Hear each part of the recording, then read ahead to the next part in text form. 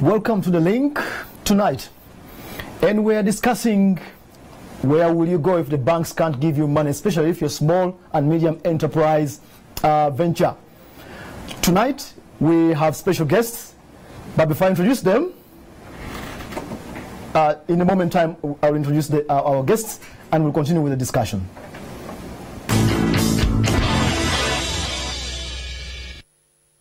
Welcome back to the link. Tonight, um, Richard Byarugaba, uh, MD NSSF, everybody knows you. And uh, William Nyakatura, a stockbroker with African Alliance. So we're discussing the alternative to, to the banks. And there's this animal we discussed last week called IFRS 9. We won't discuss that today. But that means banks won't lend easily. So let's start with you, William. This animal called equity, equity financing, what is it? Thank you, sir. Um, private equity is a form of investment where business has outlived family injection. Let's say you've started a business and you have gone around asking your uncles and your aunties to take a share in this particular business. And you believe that now you need additional capital to extend. You may want to expand, but you probably don't want to let go, you don't want to take on debt.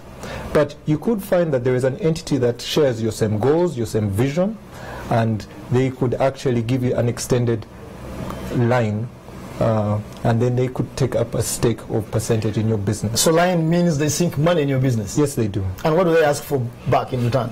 Well, they would of course expect a return on their investment, what we call ROI, and they hope that they would also get paid dividends or profitable dividends as you also capture market share and as you become a bigger influencer in your society mm. where you're providing. So in effect, you cede shares.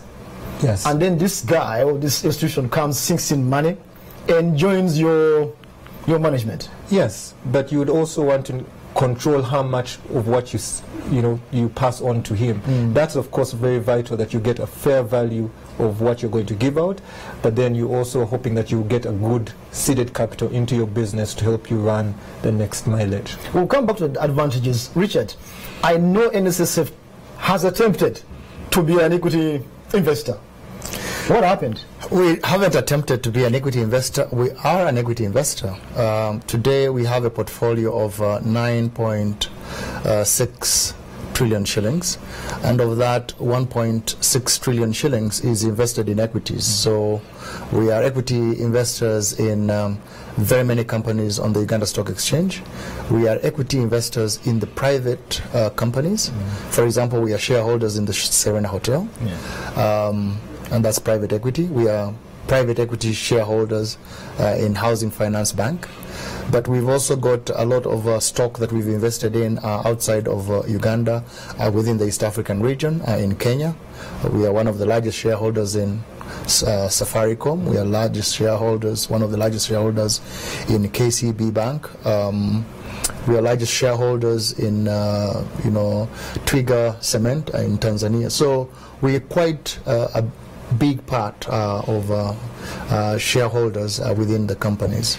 I know those are big names, but I want to take a leaf from, from that. When you decide to invest in a company, what are you looking for? What, what do you consider to make a decision? Well, first of all, the company must be a profitable company.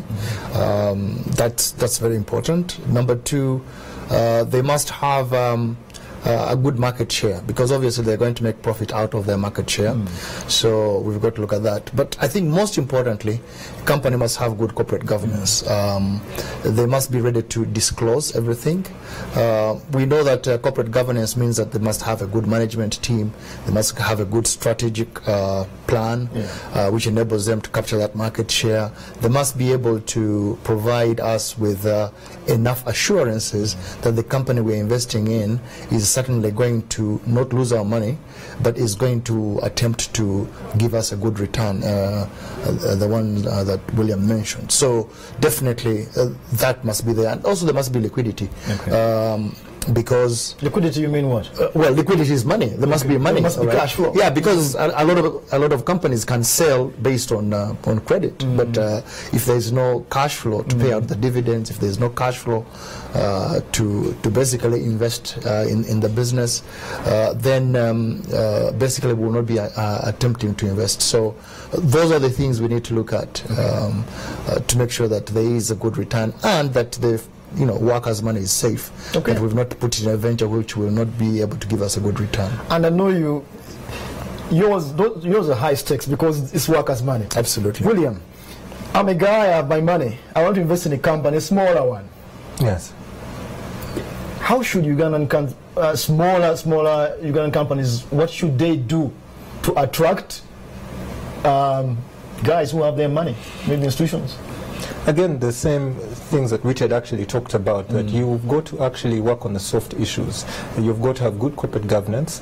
You've What do you mean corporate governance? Corporate governance is that you're not the only sole individual that makes the decisions of the business, that there is um, sound uh, management that comes to the decision making that mm. is beyond one particular individual and entrepreneur. Mm. Then you've also got to be in a profitable business. Let's assume you're in a sector that is dying in its very self and you can see the revenues are dropping. That's not going to attract many people to that particular business. If we see that there is a likelihood that people are going to be attracted to this particular product line and you maybe have first advantage and it's a young business, mm. you're going to attract a fair number of PE firms or private equity firms to look at can he be the one to actually provide this service to them profitably. And then again, like he said, we would also want to see that your books of accounts are in order and disclose everything to us uh, openly. Uh, because it's also a game of trust and we will then come in and sit in with your business and help you actually achieve your goal. So it really is corporate governance market share and open disclosure of how you're actually going to do it and where are you at this particular moment Well, let me let- before I leave, before I come back to Richard. So, let me say I take equity money. I am looking good, and I take the money. What's the advantage to me? Because now uh, you are into my space. You're even going to make some rules on me. What's the advantage? They are they, a quick. I think a quick advantage is that where you're soft in certain issues, they tend to actually bolster those particular areas. Mm. If you couldn't afford an accounting system or pay for an accountant in its very self, those are the issues they will come in and cover for you. Mm. Where you couldn't do market research, those are areas where we want to actually take our you know skill set to try and make sure that we target this particular client with a little bit of mathematical approach Yeah. to winning this particular game. So we would leave, I think a PE firm would leave you to achieve your goal, Mm-hmm. but with a more calculated approach. And hence, when the return comes, it's almost predictable and bankable. Uh, Yes, sure. I also think that uh, one of the advantages to to your company is is um, you no longer have to go to the market Mm. to raise debt, right? Because what is happening is that debt uh, is uh, a cost to the business. Absolutely. Um, when you take a, de- a, a loan from a bank, they'll give you an interest rate, and that goes straight out of your PL and L. However, when uh, you get you raise capital, Mm. that money becomes part of your operating. You know, your what you would call your working capital, and uh, basically uh, the return that you pay to the shareholder is through dividends. So that is after you've met all your expenses. So it does reduce the cost of expenses. Absolutely. But the other thing that, that I think for me is, is quite important uh, for a business that uh, takes on either private equity or even public equity is is the whole rigor that it brings to your business. Rigor, you mean what? Rigor, in other words, the order, the the, the, the corporate governance structure. So you've got to They have a board. you. Yes, basically they, they shape you up, right? They give you some of the things that you might not even have thought about, right? Uh, the other one is obviously the whole issue around innovation. Um, because you've had you've had this family business that you've run, it's been running well. You know, you are you are not very ambitious. You've got a strategic plan, but you get in these guys who are much more, who've got a bigger ambition, who've got more skills, uh, who've got who are looking at the bigger picture, who are coming in with new ideas on innovation. So these are all being introduced within the company. They're giving you structure. They're giving you policies. You know, they're giving you HR practices that you've never looked at. You know, so all these things help the business. value come- to you. Yes, absolutely. How, in, in personal businesses, there's this issue of emotionality. William, speak about emotionality. I've had, I cannot change the name. I love the money, but I can't change the name. How does somebody go around that?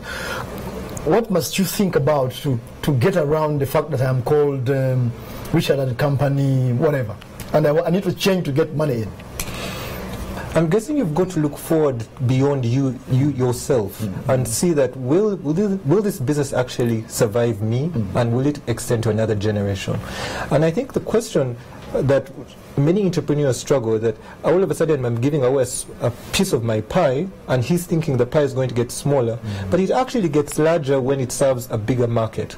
Let's assume I come from another market that is similar to your product that you mm-hmm. offer here to Uganda, and I want to penetrate into Africa, and then I realize you understand the politics, the geographical location, the relationship game.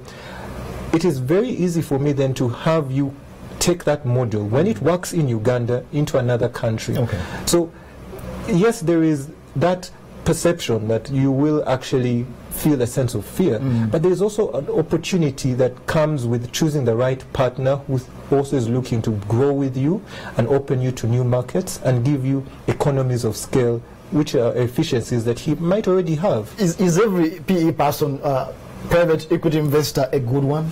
Even if they have the money? Again, you've got to choose the private equity partner selectively. There are some that come with only money, there are others that come with expertise in areas that you are seeking.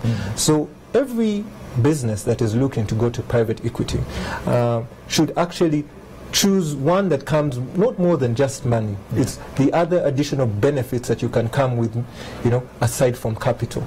Uh, that actually helps you go a long way. Capital is capital is great, but the other skills that you have could take me much further. Okay, and Richard, advisory.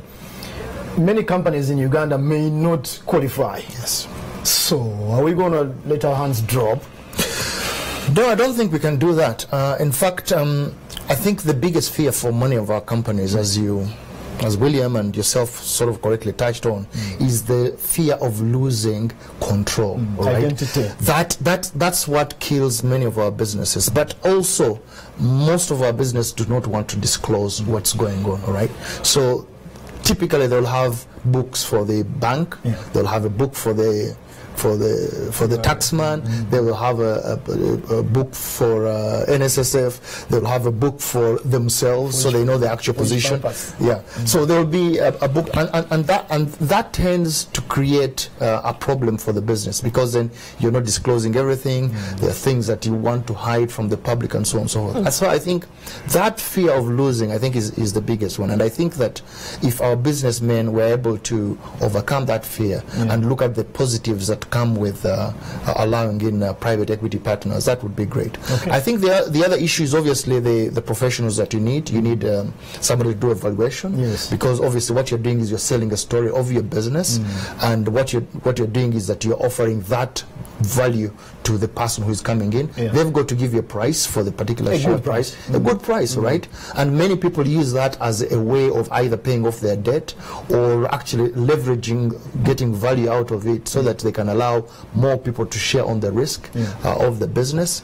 Um, but um, there will be professionals who will help you in uh, the accounting Organize side. your affairs yes, so- organizing uh, so that you affairs. can even yes, bargain back. Lawyers, right? Looking at some of the contracts you've been able to do. Yeah. Uh, looking at your memos and articles of association within the business.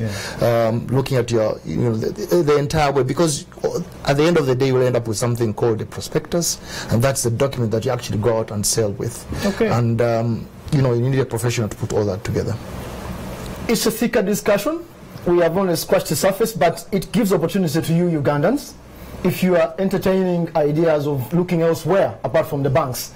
That was the link tonight, and after the break, we'll come back to Rachel.